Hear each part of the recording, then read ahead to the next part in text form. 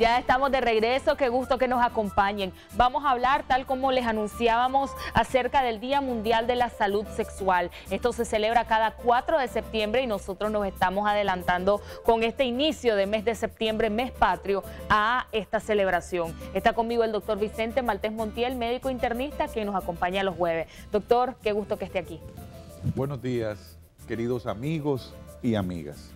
Les deseo larga vida y prosperidad. Efectivamente, como dice Mirnita, el 4 de septiembre se conmemora en más de 60 países del mundo el Día Mundial de la Salud Sexual. No hablamos de la parte reproductiva, hablamos de salud sexual. Pero antes que nada es inevitable que comente la alegría que nos ha dado al poner este recuerdo del exitoso congreso que reunió a más de 500 médicos en el evento número 26, Congreso Centroamericano y del Caribe 26 y el 24 Nacional de Medicina Interna. Felicidades. Este es un evento magnífico, fue encabezado por un comité organizador y porque nuestro líder es el doctor José Benito Sánchez Garache, presidente de, de nuestra asociación. Ahí estaba un comité científico por Lucenelia Urtecho, por la doctora Leiva, y el doctor Jesús Marín. La doctora Leiva, Tatiana Leiva, era la coordinadora del comité científico y un grupo de todos los compañeros que trabajamos fuerte más de un año para llevar a efecto este evento que tuvo 72 conferencias, Mirnita, con 59 profesores nacionales y extranjeros, 25 profesores extranjeros y, y 39, 34 profesores nacionales, los mejores del país. Los médicos internistas nos sentimos contentos, orgullosos y felicitaciones a todos los que se dieron el lujo de asistir a este evento. Claro, que muchas, y quisiera mencionarlo también, que muchos y muchas de los participantes han sido becados por la Asociación de Medicina Interna de Nicaragua. Asociación y laboratorios. Y qué bonito esa estampa que usted pone ahí, el alumno de más edad, el profesor doctor Norman Girón, un alumno de 80 años, que estuvo en los debates, acudiendo, estudiando, tomando notas, demostrando lo que dijo el homenajeado, que se deja de aprender medicina hasta un día antes de morir. Así es, doctor. Eh, eh, eh, es más bien una forma de vida. el amor a la medicina. Una forma de vida. Y esto es lo curioso, ¿verdad? Que Droguería Núñez y Compañía Limitada siempre está en el corazón de la medicina y de la salud del país y ha mandado una felicitación a todos los médicos internistas del país con motivo de este evento. Ahora, tomándole el pulso, como usted acostumbra, a lo que pasa en la salud nacional y mundial, ¿qué, ¿por qué la salud sexual? ¿Qué demostraciones nosotros tenemos que la salud sexual no siempre anda bien? Veamos a ver, Nicaragua aparece en la estadística de que somos el segundo país, otros dicen que el primero, en Centroamérica por la cantidad de niñas embarazadas. Usted va a un hospital de maternidad y una de cada dos madres es una chavalita de, 14 años, una adolescente, una niña chineando a otra niña o un niño. 148 embarazos por cada mil madres una de las estadísticas más altas que existen. Embarazos jóvenes. Embarazos en niñas. Jóvenes. Es un hecho reconocido que la actividad sexual en nuestro país comienza entre los 12 y los 14 años. No querramos taparnos los ojos con esta realidad. El otro fenómeno que vemos es el problema de la violación, el problema del abuso sexual. Todos son facetas de un mismo problema, la falta de educación sexual. La salud sexual es el estado de completo equilibrio y de bienestar físico, mental, psicológico, social, que se deriva de la práctica de una sexualidad satisfactoria, donde la gente está contenta. Y la gente que tiene que saber que esto se produce así cuando nosotros hacemos un enfoque, una valoración positiva de la sexualidad y de los derechos sexuales, porque hay 11 derechos que fueron proclamados por la Asociación Mundial de Sexología en Hong Kong en 1999. Doctor, no, habla acerca del embarazo eh, en adolescentes, 14, 15 años, 16 años, y que hay un rango de edad de cuando se inicia la salud sexual alrededor de los 12 años. ¿Es esto correcto? No, lo que, lo que debemos nosotros es educar a los, a los jóvenes para que tengan madurez. porque el sexo en etapa temprana no es recomendable. ¿Qué sucede? ¿Cuáles son las consecuencias que nosotros estamos viendo? En primer lugar, que no les educamos a los chavalos para decirles que toda relación sexual puede resultar en un embarazo. Y que siempre que dos chavalos se juntan para tener sexo, de ahí puede salir un hijo. ¿Ya?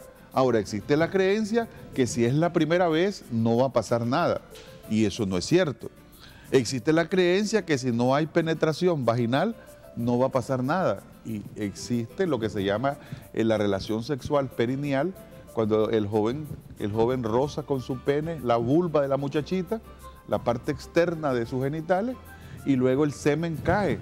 Y el clítoris está lleno de hoyitos, es cribiforme, y por ahí penetra el espermatozoide, que es un corredor al estilo de Usain Bolt, sí. y entra por millones y llega y fecunda a la muchacha, está embarazada. Entonces, ese es el problema. Ahora, hay creencias, mitos, por eso este, esta conmemoración tiene por lema derribando mitos. Excelente. Entonces, ¿qué pasa? Que la gente cree, bueno, yo voy a tener sexo con, con Juanito, con Luisito, y cuando llega a mi casa me pongo limón o me baño o comienzo a brincar y ya no quedo embarazada.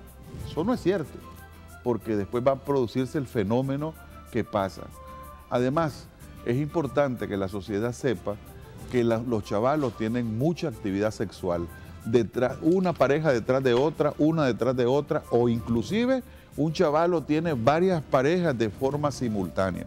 Entonces, ¿qué vamos a seguir haciendo? Eh, creyendo, apostando a la, a la abstención, a la abstinencia, o educar al chavalo en la forma más prudente que es el uso del preservativo o condón. Hay ataques, Mirnita y dicen que es que el condón lo que hace es promover, promover la promiscuidad. Y no, lo que pasa es que nosotros, un chaval está lleno de hormonas, está lleno de desconocimientos y además de eso, de inexperiencia. Y lo que va a pasar es que el chaval produzca embarazo o, adquiera enfermedades de transmisión sexual. Sí, a eso quería llegar, doctor, pero vamos a hablar acerca de las enfermedades de transmisión sexual y de cuán importante es la educación sexual para evitar la transmisión de estas enfermedades. Vamos a ir a una pausa y al regresar comentamos acerca de muchos más mitos que hay acerca de la salud sexual. Ya volvemos.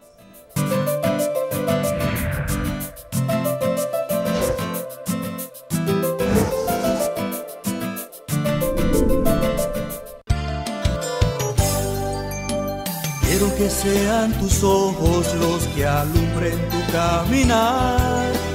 Mira bien, mira bien, óptica cristal. Encuéntranos en Semáforos en el Central, 300 metros al norte, teléfono 2277-5121 y del Cementerio Periférico, dos cuadras al norte, teléfono 2251-4245. Óptica Cristal, óptica Cristal. Si deseas reducir celulitis y estrías, Renova Spa, clínica estética corporal y facial te va a encantar, porque además ofrecemos reducción de peso y medidas, depilación definitiva con láser, levantamiento y moldeo de glúteos, rejuvenecimiento facial y tratamientos para acné y manchas. También tenemos área de relajación spa. Llámanos al 2254-7575. Encontranos en Facebook, Renova Spa, clínica estética corporal y La CONCACAF Liga de Campeones está en Canal 6. Disfruta de toda la emoción del torneo más importante de clubes de regiones. Y seguir de cerca la actuación del Real Estelí, representante del fútbol nicaragüense. La Conca Champions 2016-2017. En exclusiva por Canal 6. Nicaragüense por gracia de Dios.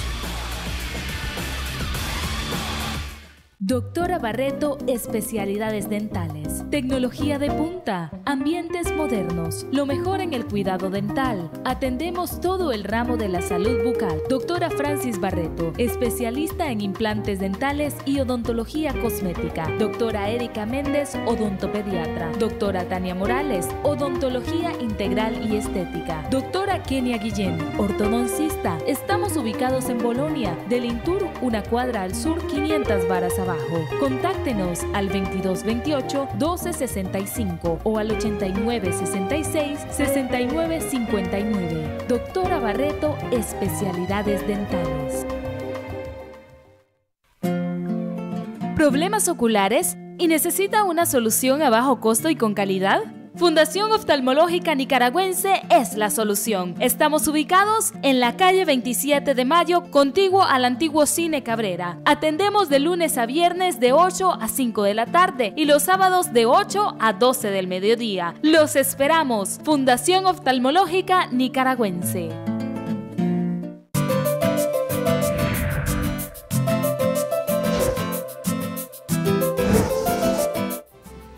Gracias por continuar con nosotros, amigos y amigas televidentes.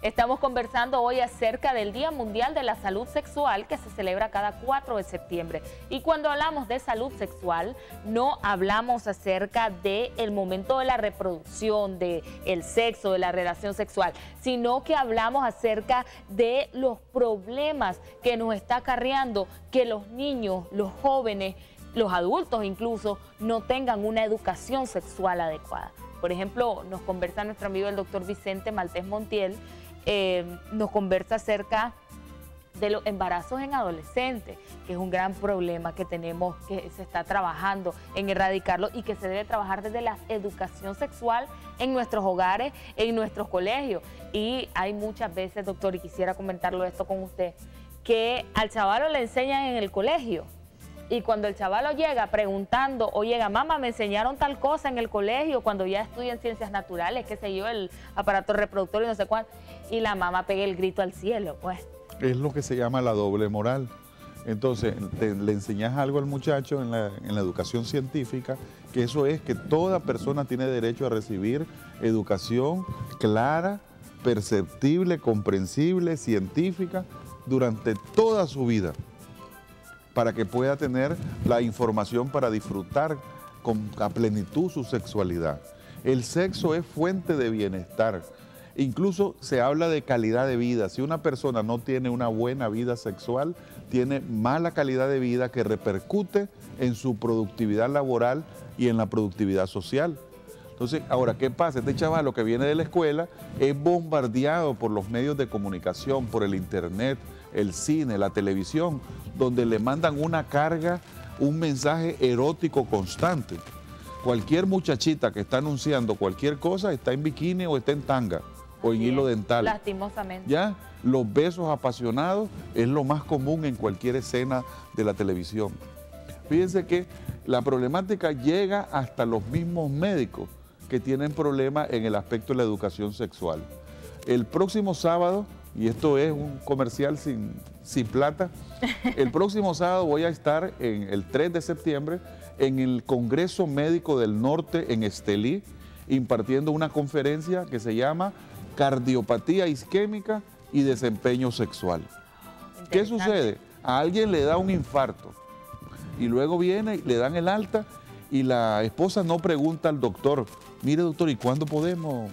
Usted sabe, y el paciente no pregunta, porque si la esposa pregunta, si yo pregunto van a pensar que soy religiosa, ¿ya?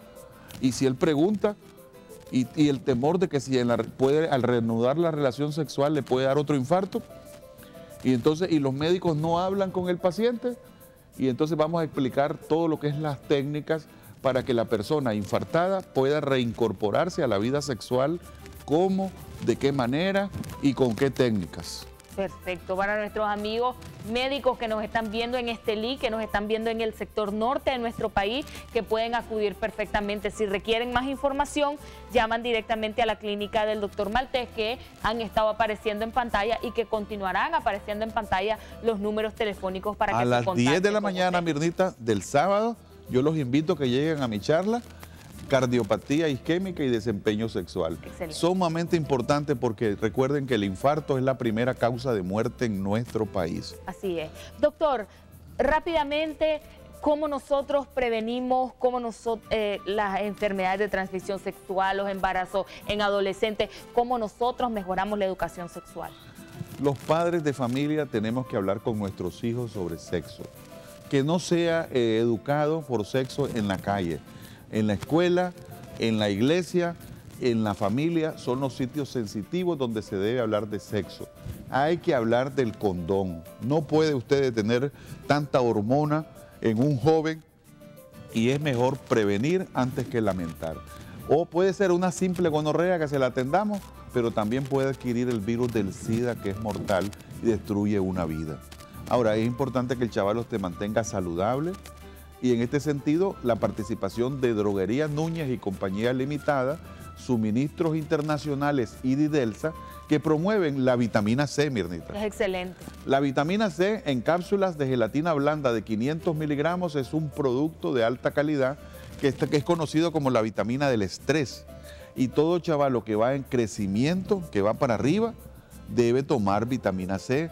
El abuelito, la persona que sale de una cirugía, ¿ya? Y la persona, la mujer embarazada, tiene que tomar, ah, mira, ahí está una muchacha embarazada y esta chica debería tomar vitamina C de Droguería Núñez y lo encuentra usted en los supermercados Pricemark, en Didelsa y suministros internacionales. Doctor, me gustaría comentar acerca de la vitamina C que nosotros creemos que sí, yo me tomo una limonada y ya tengo vitamina C. No, esa no es la cantidad que requiere nuestro cuerpo. En una cápsula de esta está la cantidad que nuestro cuerpo eh, requiere. Sí, cada cápsula de vitamina C de PharmaCaps que usted encuentra en todas las farmacias del país a un precio accesible, usted contiene 500 miligramos de vitamina C. Perfecto. Si usted no come frutas, no come verduras, pues tome vitamina C. Y en especial en esa etapa en donde los requerimientos son mayores. Crecimiento, lactancia, el chavalo que va para arriba, el viejito que tiene dificultades, el que sale de una operación y cuando la persona tiene muchas infecciones a repetición, está demostrado el papel de que aumenta el nivel de las defensas. Excelente, doctor. Muchísimas gracias por acompañarme. Siempre es un gusto recibirle para hablar de temas diversos. Lo esperamos el próximo jueves, si Dios así lo permite. Invitamos a nuestros amigos televidentes a que continúen con nuestra programación. Nos veremos mañana, si Dios así lo permite, y hablaremos acerca de qué tiene que ver nuestra higiene íntima eh, bueno, más bien de nuestra higiene íntima y lo que tienen que ver las duchas vaginales con las infecciones vaginales. En vez de traer un beneficio, nos causa problemas. Nos vemos mañana.